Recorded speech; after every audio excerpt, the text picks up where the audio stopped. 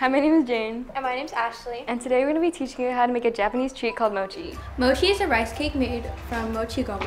There are many types and flavors of mochi, but the one we're making today is red bean and matcha. Form balls of red bean paste and put it on a tray in the freezer.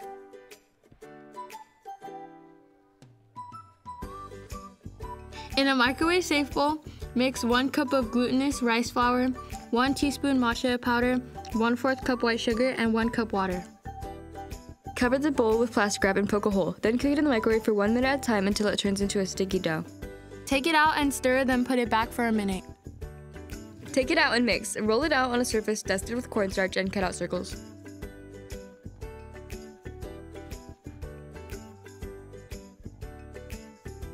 Take out the red bean paste balls from the freezer and wrap the mochi around it. Then finally enjoy.